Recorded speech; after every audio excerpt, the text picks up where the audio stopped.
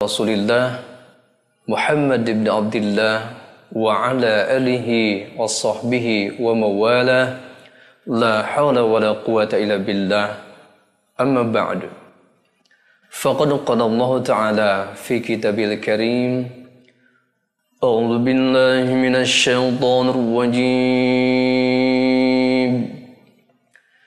بسم الله الرحمن الرحيم ورتل القرآن ترتيلا وقال رسول الله صلى الله عليه وسلم خيركم من تعلم القرآن وعلمه Saudara hadirin, para pecinta Al-Quran yang dimuliakan Allah Subhanahu wa Ta'ala, Alhamdulillah, pada kesempatan ini kita dapat bertemu wajah dalam rangka mempelajari Al-Quran Karim dengan metode As-Surasmaniyah, di mana metode As-Surasmaniyah merupakan metode terbaru, akan tetapi merupakan hasil riset mulai dari tahun 1995 insya Allah metode ini sangat matang sangat canggih mutakhir dan mudah bagi pemirsa yang ingin mempelajari Al-Quran dengan metode asurasmania di mana di dalam metode asurasmania dibagi menjadi empat penggalan yaitu penggalan pertama menyangkut huruf hijaiyah dan rumus tanda baca.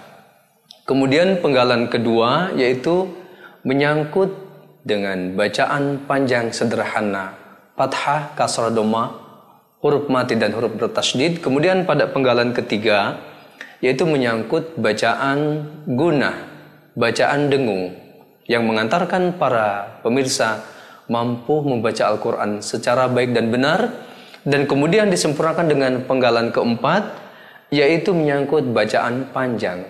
Ada yang dibaca dua harkat, ada yang dibaca empat harkat, ada yang dibaca dua, empat, enam harkat.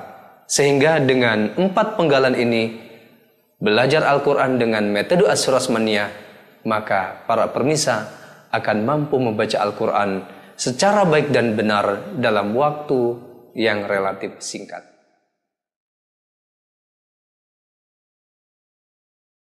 Penggalan pertama yaitu mulai dari huruf hijaiyah.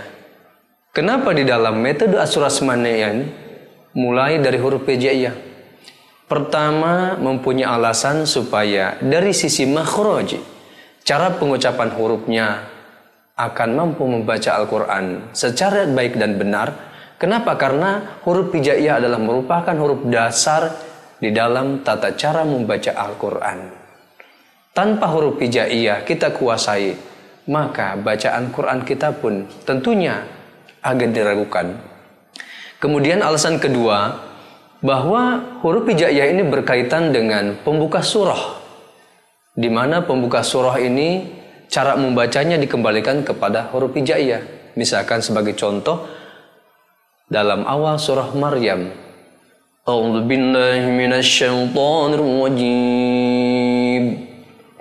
Bismillahirrahmanirrahim. Kan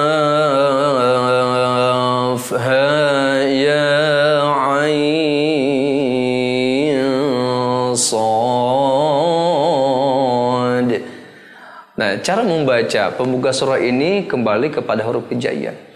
Andai kata kita itu tidak mengetahui huruf hijaiyah, kemungkinan salah membaca yaitu dibaca fathah semua.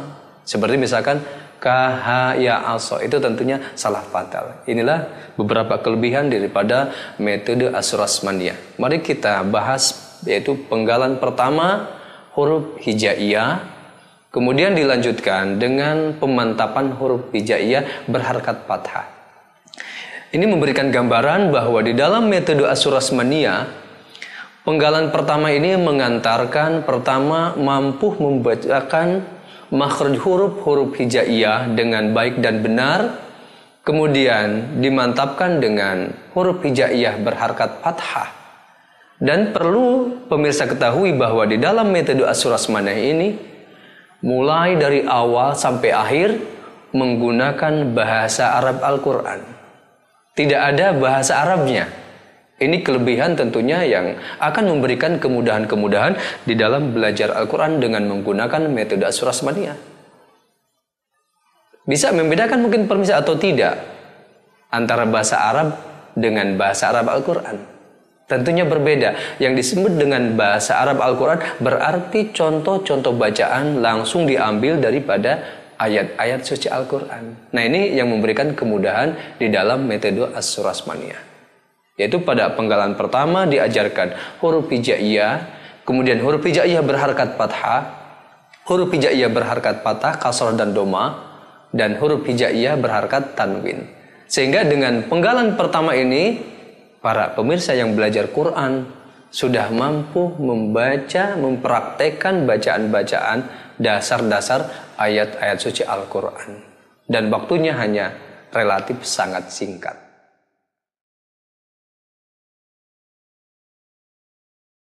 Di dalam metode asurasmania, penggalan dua ini kita akan mempelajari bacaan panjang sederhana.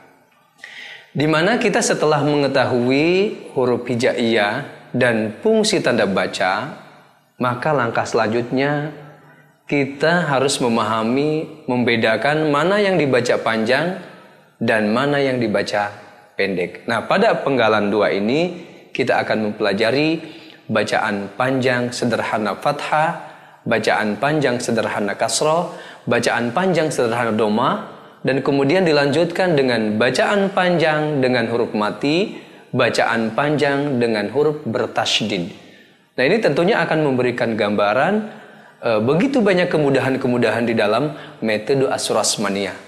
Kemudian untuk mengantarkan bacaan panjang sederhana itu di dalam metode asurasmania diberikan kemudahan pertama yaitu huruf penggal pertama itu ditulis dengan bacaan pendek, kemudian kedua ditulis dengan bacaan panjang terpisah, dan ketiga ditulis bacaan panjang gabung.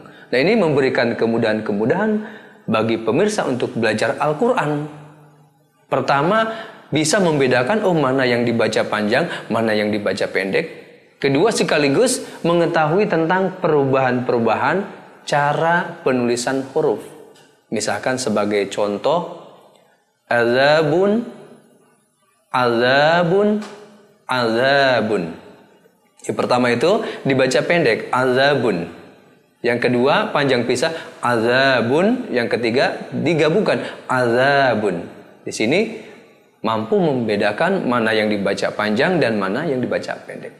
Kemudian juga dilengkapi pada akhir penggalan dua ini yaitu huruf mati dan huruf bertasydid Nah ini tentunya memberikan pengaruh yang besar. Kenapa banyak terjadi ketika seseorang membaca Quran kadang terbalik.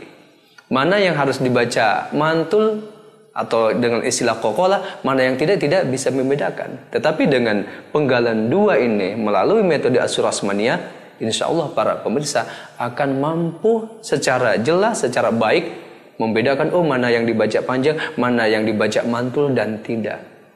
Contohnya misalkan wa Ibrahim wa Ibrahim waj'alna waj'alna. Kemudian yang bertasydid adin naba'il azim. Nah anin tasydid huruf nun bertasydid berarti dibaca dengung. Adin naba'il azim. Nah kemudahan-kemudahan di dalam metode asurasmania penggalan kedua. Nah, kalau kita lihat penggalan kedua di dalam metode Asrasmaniyah ini sudah memberikan gambaran betapa mudahnya di dalam membaca Al-Qur'an. Di mana langkah demi langkah di dalam metode Asrasman ini memberikan kemudahan-kemudahan. Sehingga di dalam metode Asrasmaniyah ini penggalan kedua pun sebenarnya sudah bisa membaca Al-Qur'an. Tetapi untuk kesempurnaan bacaan Quran ini tentunya nanti kita akan lanjutkan dengan penggalan ketiga. Para pemirsa, pecinta Al-Quran yang dimuliakan Allah Subhanahu wa Ta'ala, mari kita melanjutkan pelajaran kita dengan menggunakan metode Asrasmaniyah pada penggalan ketiga. Di mana kita ketahui bahwa pada penggalan pertama dan kedua telah kita pelajari huruf hijaiyah dengan rumus tanda baca, kemudian dilanjutkan dengan bacaan panjang sederhana, fathah kasrah doma, huruf mati, dan huruf bertasydid. Maka pada penggalan ketiga ini akan kita pelajari kunci-kunci bacaan yang dibaca dengung untuk kesempurnaan bacaan Al-Quran kita. Di mana di dalam metode Sersmania kita ketahui bahwa sejak awal materi yang disampaikan adalah memakai bahasa Arab Al-Quran langsung. Bahasa Arab Al-Quran langsung, tidak ada bahasa Arabnya. Ini merupakan kemudahan-kemudahan di dalam metode As-Surasmania. Kemudian kita ketahui bahwa secara otomatis pada penggalan tiga ini adalah merupakan ayat-ayat Al-Quran langsung. Di mana cara penyusunannya di dalam metode Asrosmania, penggalan ketiga ini diberikan kepada pada penulisan belajar Quran kemudahan-kemudahan. Yang pertama yaitu huruf mim nun bertasydid. Kedua, mim mati bertemu dengan huruf mim. Ketiga, huruf mim mati yang bertemu dengan huruf ba. Keempat, nun mati atau tanwin bertemu dengan huruf ba. Kelima adalah nun mati atau tanwin bertemu dengan huruf mim, nun, waw, ya. Dan terakhir yaitu huruf nun mati atau tanwin bertemu dengan huruf 15. Ini tentunya merupakan kemudahan-kemudahan di dalam metode asurasmania. Sebagai contoh misalkan yang pertama itu pada penggalan ketiga adalah huruf mim nun bertasydid contoh. Amma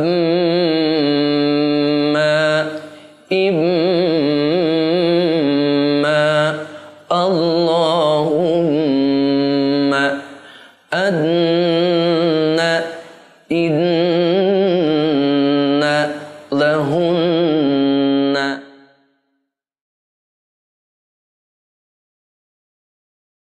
Para pemirsa pecinta Al-Quran yang dimuliakan Allah Subhanahu wa Ta'ala, telah kita lewati, telah kita lalui pelajaran kita melalui metode asrasmania itu pada penggalan pertama, penggalan kedua, dan penggalan ketiga.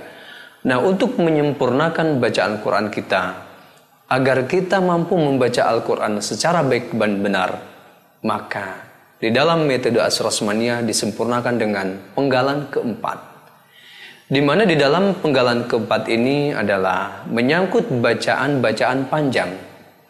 Ada yang dibaca panjang dua harkat, ada yang dibaca panjang empat lima harkat, ada yang dibaca panjang dua empat enam harkat, dan ada yang dibaca enam harkat.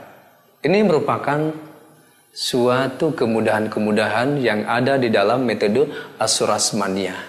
Kemudian kita ketahui ya, secara otomatis penggalan ke satu, penggalan kedua, penggalan ketiga menggunakan Al-Quran langsung.